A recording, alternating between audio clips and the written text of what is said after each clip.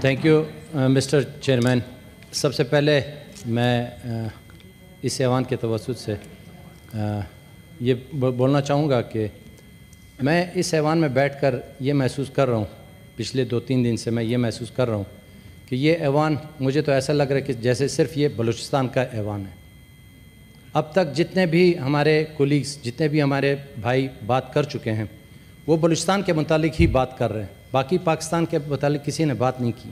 شاید پاکستان کے مسائل حل ہیں، اس لیے اس پر بات نہیں ہو رہی۔ ہمارے مسائل شاید کچھ زیادہ ہیں پاکستان سے، اس لیے ہم اس پر بات کر رہے ہیں۔ یا ہم نگلیکٹڈ ہیں، اس وجہ سے ہم اس پر بات کر رہے ہیں۔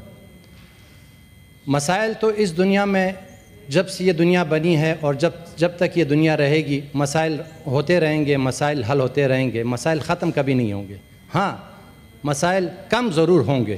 اگر ہم سد کے دل سے، اچھی نیت سے اور اچھی پلاننگ سے، اچھی سوچ کے ساتھ ان مسائل کو حل کرنا چاہیں، تو میرا یہ کبھی ایمان ہے اللہ کی ذات پر کہ یہ مسائل کم ہو سکتے ہیں اور کم ہوں گے انشاءاللہ۔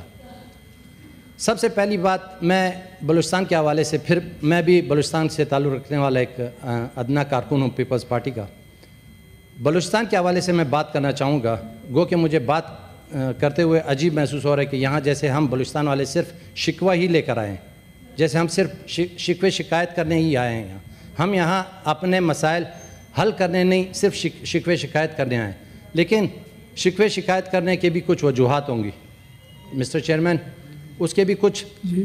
حالات ہوں گے جس کی وجہ سے ہم بلوچستان والے اس پوزیشن پر آ چکے ہیں کہ ہم اگر آپ قومی اسمبلی کی بات کر لیں آپ سینٹ کی بات کر لیں تو آپ کو بلوچستان کا نمائندہ شکایت کرتے ہوئے کم، شکوہ کرتے ہوئے زیادہ نظر آئے گا۔ ان شک، ان ان شکووں کی کیا وجوہات ہیں؟ ان شکووں کی وجوہات یہ ہیں کہ ہماری جو جتنی بھی حکومتیں ہیں، وہ بلوچستان کو وہ توجہ، وہ اہمیت شاید نہیں دے پا رہی جو بلوچستان کا حق ہے، جو بلوچستان کے ساتھ ہونا چاہیے۔ میں ایک چھوٹی سی مثال آپ کو اس کے اس کے متعلق دے دیتا ہوں، بلوچستان کے متعلق۔ جناب چیئرمین اس وقت پاکستان میں قدرتی گیس کا مسئلہ، پورے پاکستان میں ہے، مسئلہ ہے۔ کراچی جیسا شہر، اس میں بھی سردیوں کے موسم میں رات بارہ بجے کے بعد سے صبح چھ بجے تک لوڈ شیڈنگ ہوتی تھی، ہوتی ہے۔ بلوچستان سردیوں میں گیس سے بالکل ہی گیس نہ ہونے کے برابر ہوتی ہے۔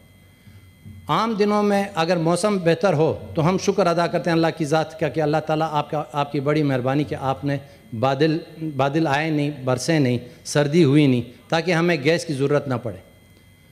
اس مسئلے کو اگر آپ دیکھیں تو یہ ہمارا مسئلہ کب سے چلا آ رہا ہے؟ اس وقت سے چلا آ رہا ہے کہ جب سے پاکستان میں قدرتی گیس، جسے ہم سب لوگ سوئی گیس کے نام سے پہچانتے ہیں، سب سب کو معلوم ہے کہ سب سے پہلے پاکستان میں جو گیس دریافت ہوئی، قدرتی گیس دریافت ہوئی، وہ بلوچستان کا ایک علاقہ سوئی، جسے سوئی کہتے ہیں، سوئی کے حوالے سے سوئی میں دریافت ہوئی۔ اس سوئی گیس علاقے سے اس قدرتی گیس کو سوئی کا نام دیا گیا۔ ہمارے اس وقت جو سب سے پہلا ویل جو کنواں جو دریافت ہوا، اس کی مقدار ہزار M M C per day کے حساب سے تھی۔ پاکستان کی تاریخ کا سب سے بڑا اور سب سے واحد ویل جو اس وقت سے لے کر آج تک آج تک اس اس لیول کا یا اس مقدار کا گیس یا اس مقدار کی کوئی ایکسپلوریشن آج تک نہیں ہوئی۔ ایک ہزار M M M M C production تھی اس کی۔ اس کے بعد قادرپور گیس فیلڈ جو ہے، اسے تقریباً ڈھائی سو M M C per day کے حساب سے گیس پروڈیوس ہو رہی ہے۔ ہمارے ملک کی ضرورت اس وقت اٹھارہ سو سے لے کے بائیس سو M M C per day کے حساب سے ہمارے ملک کی پروڈکشن ضرورت ہے۔ جس میں سے ہمارے ڈومیسٹک اور کمرشل سارے یونٹس اس میں شامل ہیں۔ جبکہ ہماری اس وقت پروڈکشن جو ہے وہ چھ سو سے ساڑھے چھ سو یا چھ سو اسی M M C per day کے حساب سے ہم بڑے بڑے فخر سے یہ بات کرتے ہیں کہ ہمارے ملک میں جو ایکسپلوریشن ہو رہی ہے، یہ دنیا میں سب سے اچھی اچھی تعداد میں، یا اس کی ریشو دنیا میں سب سے زیادہ ہے۔ اس حوالے سے کہ جا، اگر دس دس ویل کسی بلاک میں دس ویل ڈگنگ ہوتی ہے، اس میں سے پانچ یا چھ وہ ہمارے گیس کے جو ویل ہیں، وہ کامیاب ہو جاتے ہیں۔ لیکن ان کی پیداوار دس سے لے کے پندرہ M M C per day کے حساب سے۔ تو اس طرح ہماری جو اس وقت موجودہ سارے پورے ملک کی جو پروڈکشن ہے، وہ چھ سو سے چھ، ساڑھے چھ سو یا چھ سو اسی M M C per day ہے۔ اس اس اس چیز کو جو ہے ہماری پچھلی حکومتوں میں جس طرح ابھی ہم یہ کہہ سکتے ہیں دو ہزار تیرہ سے لے کے دو ہزار اٹھارہ کی گورنمنٹ میں، ہمارے بلوچستان کے لیے اس وقت کی گورنمنٹ جو مسلم لیگ نون کی گورنمنٹ تھی، انہوں نے ایل ایل پی جی کے حوالے سے ہمیں کچھ سہولیات دیں۔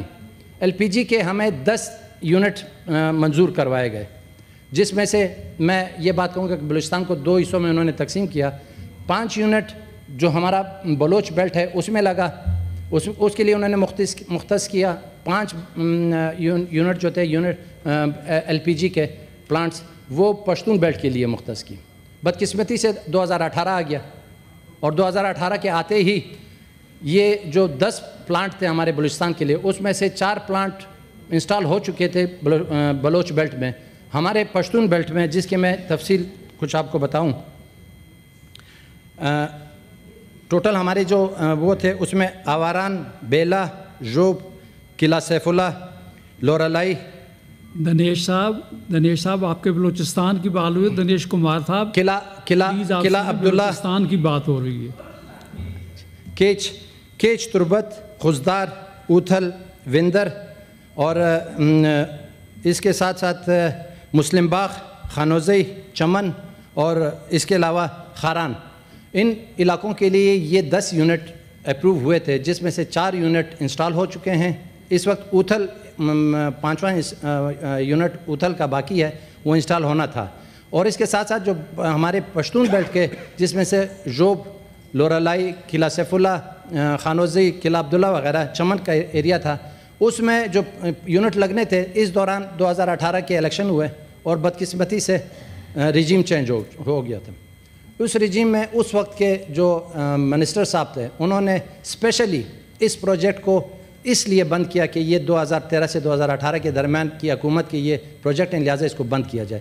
اس ایک قطع نظر کہ اس پروجیکٹ سے استفادہ کن لوگوں کو ہونا ہے؟ اس پروجیکٹ پروجیکٹ کے کمپلیٹ ہونے سے فائدہ پاکستان کے عوام کو ہونا ہے۔ اس پروجیکٹ کے کمپلیٹ ہونے سے فائدہ پاکستان کو ہونا ہے۔ اس صورت میں کہ آج آج دن تک وہ پلانٹ انسٹال نہیں ہو نہیں ہو سکے۔ اور آج بھی ان علاقوں میں ہمارے لوگ جو قدرتی جنگلات ہیں، ان کو کاٹ کاٹ کر اپنے ایندھن، اپنے گھر کی ضرورت، اپنے سردی سردی کے سے بچنے کے لیے اور گھر کے روز مرہ کے معمولات چلانے کے لیے لکڑی کا استعمال کرتے ہیں۔ یہ لکڑی سر سر کچھ تھوڑا سا ٹائم۔ یہ لکڑی یہ لکڑی جو ہے سر ایک گھنٹے سے کم عرصے میں ایک تناور درخت جسے سالوں لگتے ہیں درخت بننے میں وہ ایک گھنٹے سے کم عرصے میں کٹ جاتا ہے سر۔ اس درخت کو بننے میں سالوں لگتے ہیں اور اس کے کٹنے میں چند چند لمحے لگتے ہیں سر۔ کیا ہم ان چیزوں کو دیکھ سک محسوس کر سکتے ہیں کہ یہ جو ہمارے جنگلات ہیں، اس ان جنگلات کو کاٹنے سے، یہ جو ہمارے درخت ہیں، ان کو کاٹنے سے ہمارے ایکو سسٹم پر کیا اثر پڑ رہا ہے؟ کیا ہم یہ محسوس کر سکتے ہیں کہ ان جنگلات کو کاٹنے سے ہمارے موسم پر کیا اثر پڑ سکتا ہے؟ آج ہم جس چیز کا رونا رو رہے ہیں، آج ہم جن جن سیلابوں کا رونا رو رہے ہیں کہ بے وقت کی بارشیں ہو رہی ہیں بے وقت کے بادل آ رہے ہیں سیلاب ہو رہے ہیں۔